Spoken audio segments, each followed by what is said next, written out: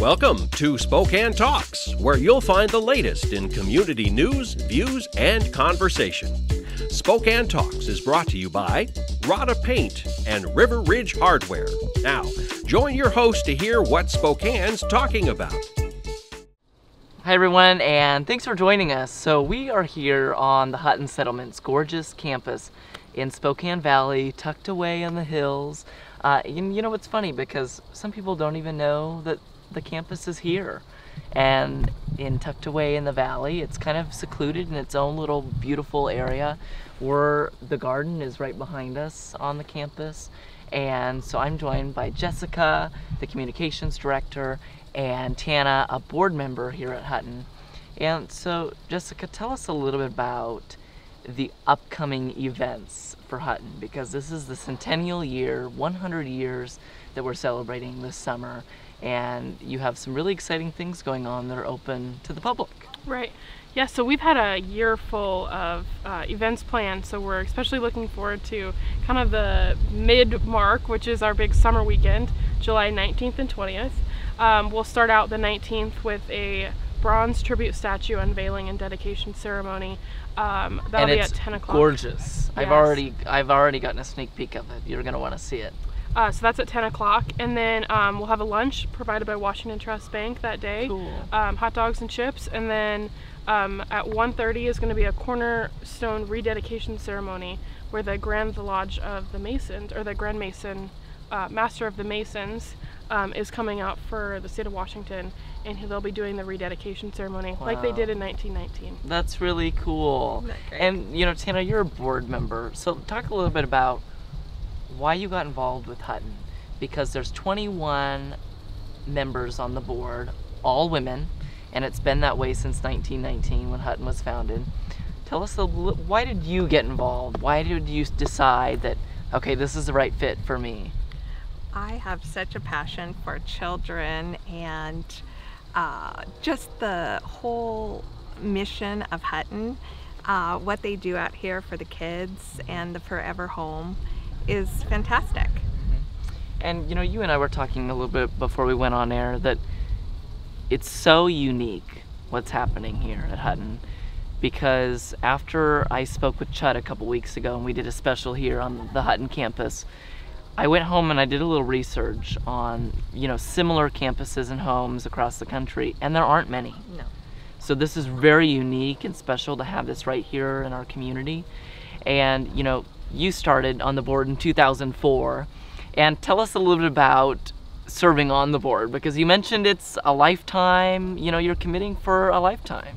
Well, it couldn't be more rewarding uh, for myself and the board members that I share this wonderful task with because some of them have been on the board for like 40 years and wow. learning from the older members and just um, putting your arms around this whole place is just mm-hmm. I can't there's no superlatives that would be proper for it because it just it's in your heart.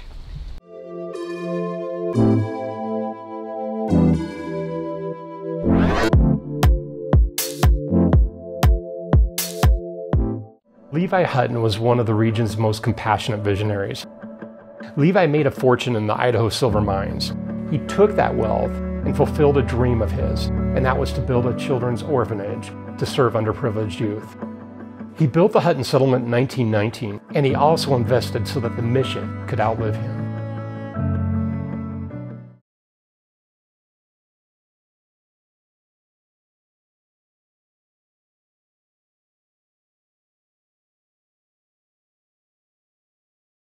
Here at River Ridge Hardware Garden Center, where we have all the plants and flowers that will spruce up your yard, from the lilacs for Spokane's Lilac City, to awesome hanging baskets, and pots that you can actually put the hanging baskets in. Here at River Ridge Hardware, we want to help you set up your landscape needs. Neighbors helping neighbors at River Ridge Hardware.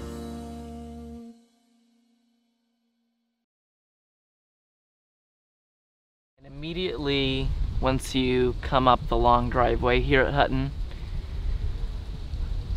ah, I can't even I can't even put it into words, but I just feel so relaxed. My heart is just in the right place immediately. I've been here several times now, and it's a very special place. It's a very special place. And Jessica, tell us a little bit about the planning. You know, the centennial year for Hutton. It's taken three years, three years in the making to put this all together. And why why did we decide okay 100 years we're going to make such a big deal um, and have all these events and do this special planning uh, well, I got to come in over halfway through that, so I've only been with Hutton for about a year. So Okay. Tana, one of the co-chairs of the committee, um, they've been really hard at work, and um, it's great to have a board that's so invested and dedicated in the mission because they're Absolutely. so critical in making sure that these events happen. Um, I'd say, you know, this 100 year mark is a celebration for the entire community, and that special feeling that you talk about, Saturday, the 20th. Um, is a day. There's going to be a car show. Uh, there's lunch. There's going to be a generational baseball game. We're joined by Babe Ruth's granddaughter. and that's really neat because babe ruth actually visited the hutton campus in its early days. Mm-hmm. And there's a photo of it in the wall that chud showed me when i was here a couple weeks ago.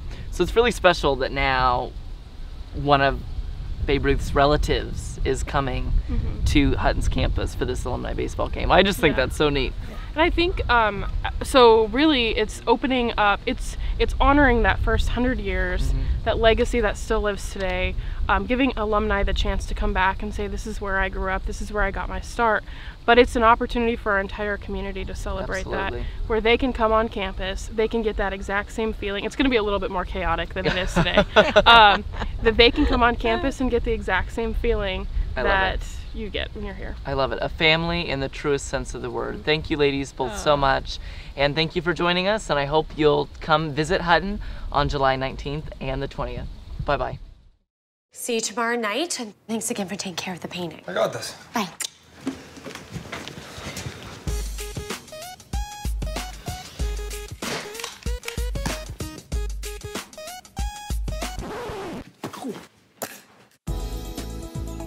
Weekends are made for painting. Let the experts at Rodda Paint take care of you.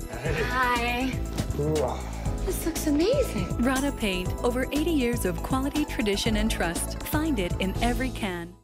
Every child comes to Hutton with some degree of trauma, not knowing who to trust, not knowing that they can trust. They come from families where the adults have been inconsistent or abusive or profoundly neglectful. And they don't even know if it's possible to hope that a relationship can work for them. That's how they come to Hutton.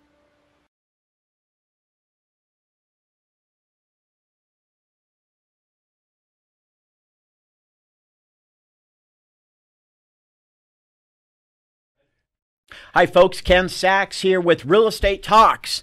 Here with my guest, Kent Adams, and talking about real estate in the market. Yeah, what what's going on right now? We hear a lot. We're in that spring summertime now. Sure. Uh, my wife says there are a lot of homes for sale, but that's pretty normal at this time of year, isn't it? Well, we're still definitely in a seller's market, Yes, Kent. yes. Uh, and in- why? Yeah, so our inventory, well, we don't have enough inventory. Our inventory is less than two months supply. Okay. Which means at our current pace of sales, in two months, it's gone, Wow. provided nothing else comes on the market. Right, So right. that tells us this is a seller's market. Anything from less than about six to five months, we're again just under two, is a seller's market. Six, to month- five. uh, Six to five and less is a seller's okay, market. and we're at two. 1.8. One point. Yeah. that's that's a lot less than half. That's even. a I lot mean, less. Uh, what does that mean? What that means is for sellers, it's exciting. For buyers, it could be a little frustrating. Yeah. So sellers, what that means is uh, you uh, you can expect. You still have to price it appropriately Yeah, yeah. because we're seeing sellers overconfidence, overpricing Oh, yeah. doesn't do you any good. Uh, it does sell other homes, but doesn't sell yours. and w- when you go to list your property and put it on the market, the hottest time is when.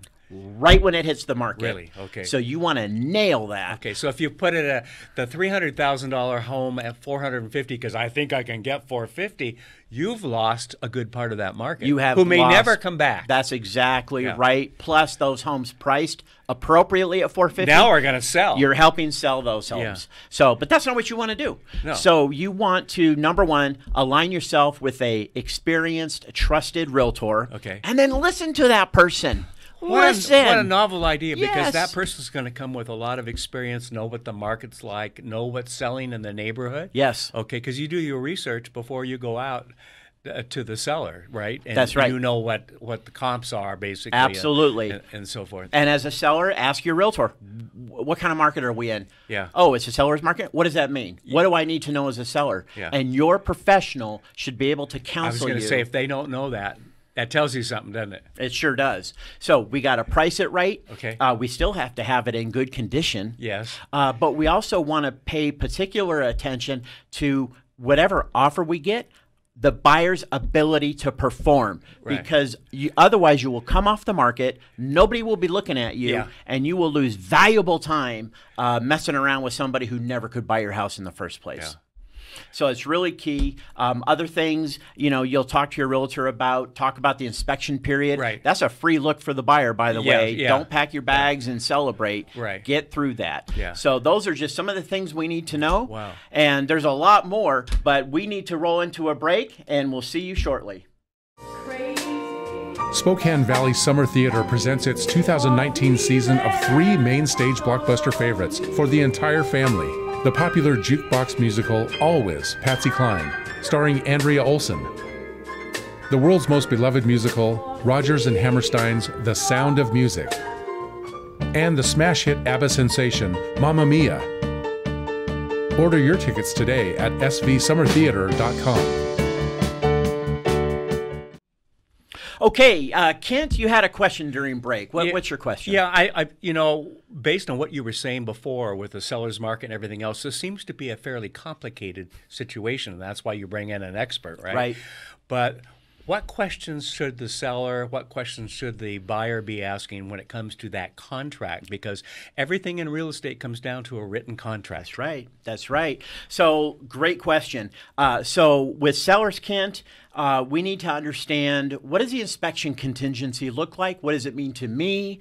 Uh, uh, almost every offer we can expect to see an inspection contingency. Pretty much standard today, isn't it? Pretty much standard, Yeah. especially after some suits that we had in years in the past Oh, yeah. that highlighted the importance Yeah. of a buyer doing an inspection. So, uh, but that's a free look. It's a free Yeah, look. yeah. Buyer can walk away scot free. No matter what the reason. No matter they don't even need a reason. They can wake up and say, "I don't know what I was thinking. I don't Yeah. want to buy the house." Yeah. So you need to understand that with your realtor. Uh, we need to understand before I take my house off the market for you, buyer. Can you really buy my house? Mm-hmm. Yeah. So I want to dig into your ability to perform. So let's not overlook that. Do you have a pre-approved for a mortgage? If, if, if you're a cash buyer, what cash are you talking about? Is it really cash? Right. Yeah. Ca- cash is cash. Yeah. Cash is not home equi- equity line of credit. Cash Okay. is not gift funds from grandma. Okay. Cash is not I got to sell my Cessna 182.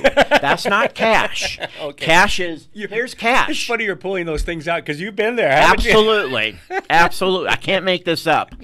Um, included items, seller. Understand with your realtor before you even go on the market. Hey, what stays with the house? Yes. Because things that contractually stay with the house, you may not want to leave with the house. Right, right. So your realtor and you need to have that conversation. Yeah, those curtains that Grandma made. That's you right. might want to be sure to take with you, but you don't want to take them down in the meantime. That's right. Well, you could swap them out before Okay. you go on the market. Now Right. there's no question. Okay. Uh, does my buyer have to sell a house? And Yeah. is that house under contract? Yes. Things to ask. Uh, seller disclosures. What's that all about? So we need to provide current, accurate uh, seller disclosures to a buyer. Like what? In most cases, well, it's about six pages of yes, don't know, uh, or NA. Yes, no, don't know, NA. Oh, okay. So we have all that to do. Now your realtor is not going to help you with that because they can't. Okay. Uh, buyers really quick. Um, inspection periods. I said understand that. Understand the difference between possession and occupancy. Okay. You don't want to buy a house with a lease on it when you're planning to move in. Yes. And you haven't addressed occupancy, different from possession. earnest money? What is it? How much is it? How do I get it back? So, Kent, those are just some of the things, and there's lots more there. But we're being told here that we're at the end of the show. So, thank you for watching Real Estate Talks with Ken Sax. See you next time.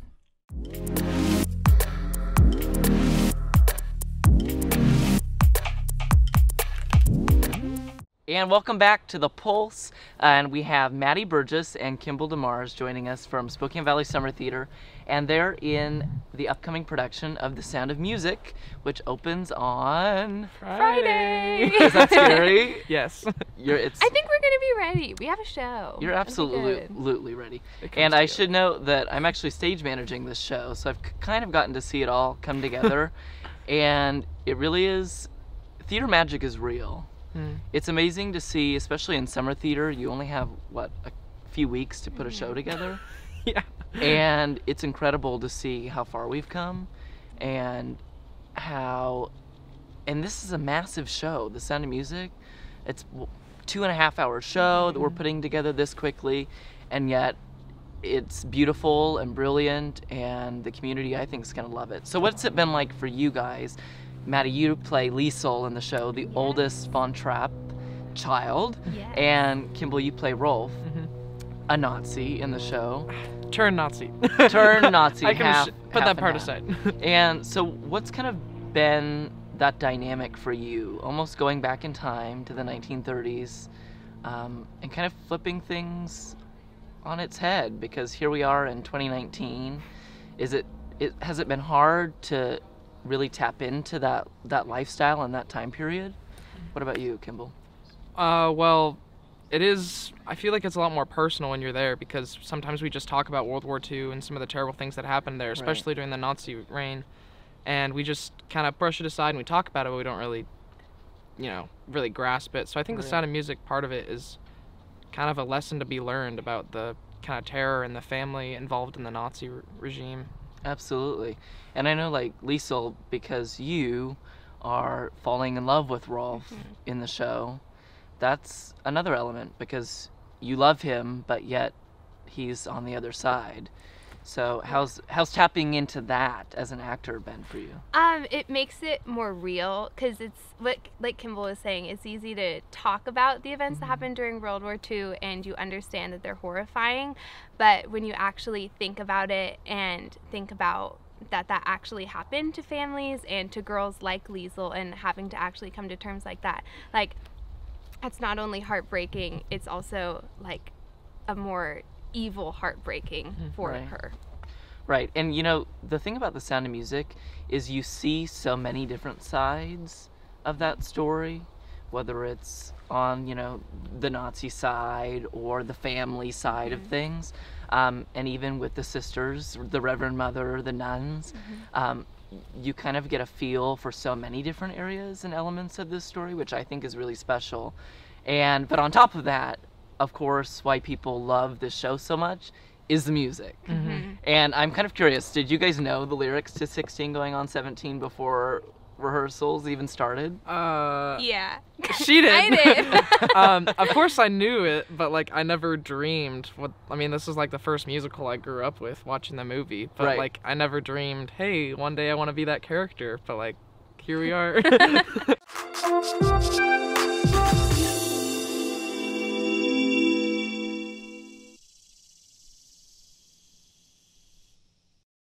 I think the movie is brilliant. Of course, Julie mm-hmm. Andrews. Right. Have you seen the movie, Oh, both of you? Well, Sound of Music was the first movie musical I ever watched. it was the first one. I And watched. I remember I would get it from the library, and then I just like rewatch all like the musical scenes like over and over and over in like my living room. So this is also so like an extra special show. and you know, I remember as a kid, and those of you at home know this, the sound of music is so long that I remember as a kid not being able to watch the entire thing in one like one sitting. So Yeah. I would have to like pause it and then maybe like the next day or the next weekend I'd watch the rest of it because it is such a long it's a long production, a long show. Um, the show is a lot of fun and I already know, even though we haven't opened, that the community's gonna love it. And you open on Friday, and you can get tickets at www.svsummertheater.com. But there's also another upcoming show at Spokane Valley Summer Theater, and what is that, Liesl? Mamma Mia. And are you guys in Mamma Mia? I'm No. not actually. I'm no, not. just Sound of Music. But you should come see it anyway. you know, but it is funny because a lot of you know uh, we have quite a few cast members in the Sound Mm-hmm. of Music that are also in Mamma Mia. Um, so that's been kind of fun for them to work on both shows Mhm. at once. I know Mamma Mia is already getting started and well underway, so that's exciting too. And Mamma Mia is such a fun show. Um, it's th- there's so much energy and it's a Mhm. little not quite as deep as, as the Sound of Music. Uh, so I think that'll be fun and refreshing for people that are in both shows. But I encourage you to come see The Sound of Music as it opens on Friday. And it's going to run for three weekends? Yes. Three. July three 12th through the 28th, Thursdays through Sundays. And talk about a little bit, because both of you have been involved with like high school theater and community theater. What's the difference been like for you now stepping into a professional theater setting Hmm. that SVST is? Okay. um, well, it's more quick, like you alluded to, because I think I counted, and I think we have like four weeks of rehearsal, and then one week of tech, which we're in, Uh-huh. which we're in, and then it's three weekends of shows. So it's all very fast, and you're there pretty much like the whole afternoon and the whole evening. But it's also uh, I see a lot more dedication from Hmm. the Mm. actors. Like when you're there, you're there to work. Whereas like with high school, you get more of the like learning element and stuff like that. But when you're at rehearsal, you're there to work and you just kind of get it done, which I appreciate the professionalism Hmm. of Absolutely. What about you, Kimball? Um, like she said, it's just a different environment. Like, one, you you're with adults now instead of high Right, schoolers, right. And you come when you come to rehearsal, you come to work. Like, you don't have time to sit by and wait. Like shows I'm in, it takes three months to put them together. This one's just a couple weeks, Yeah. so Right. you gotta you gotta be dedicated. You do, and even like the memorization deadline, it's like right away. yeah, and it's like the week after you start rehearsal. One of my teachers in high school had this poster that said deadlines are closer than they appear, and especially with summer theater, that could not be more true. Yeah. So, anyways, the show is beautiful. Uh, you two, in particular, are amazing and such a highlight of the show itself. Thank you. Your choreography, your your emotions, your voices. I mean, it's just it's amazing, um, and I love watching you, and I know you all will too. So go to svsummertheater.com and get your tickets, and you can also call 509-368-7897 for the box office, and that opens Friday, July 12th through the 28th. So you have three weeks to check it out. I know you want to go to the lake a little bit too, so you have three w- weekends um, and opportunities to see it. Thanks for coming on, you guys. Welcome to this front porch. This week we're filming at the 1899 House Bed and Breakfast in Browne's Addition. It's disconcerting to shower under armed guard. I reached for the shampoo and found myself staring down the barrel of a rifle. I tried to ignore the uniformed soldiers who silently stood guard, but I couldn't. The fact that they were only three inches high and made of plastic didn't ease my discomfort. With a soapy hand, I turned each one of Sam's G.I. Joes to face the wall. Someday, I'd like to shower alone. Many years ago, when our oldest son was ready to bathe in the full-size tub, we bought him a family of rubber, yellow rubber duckies. Then his grandma bought him a ship. That ship turned into a plastic fleet, a small navy. When Alex was born, foam blocks were added. At least they didn't hurt when you stepped on them, and they stuck to the wall. Unfortunately, Ethan still had his fleet and his ducks, and our tub was getting crowded. By the time Zachary arrived, his older brothers refused to bathe without their Star Wars action figures. One night, I decided to enjoy a bubble bath. I filled the tub and slid down into the sweet smelling foam. I jumped back up immediately. My relaxing soak was rudely interrupted when my posterior had a close call with Yoda and his lightsaber. Just when the kids graduated to taking showers by themselves and outgrew tub toys, Sam arrived and the bath time collection began again. Sesame Street and Star Wars figures were replaced by G.I. Joes. The bathroom echoed with simulated gunfire and the splash of falling soldiers. Now that season's past, And toy soldiers in the tub have been replaced by razors on the vanity, whisker stubble around the drain, and cans of Axe body spray on the countertop. But for a while, our shower was the safest, most secure, well guarded spot in the neighborhood. And that's the view from this front porch. Hey, thanks for joining us this week on Spokane Talks. We'll see you next time for more news, views, and conversation. Bye bye. Spokane Talks is about you. Give us your feedback and comments at info at SpokaneTalksMedia.com. Spokane Talks is everywhere you are. Find us on Facebook, YouTube, Twitter, Spotify, Apple Podcasts, and SpokaneTalksMedia.com. Spokane Talks is brought to you in part by Rodda Paint and River Ridge Hardware. We'll be back next week with the latest news, views, and conversation. Please join us.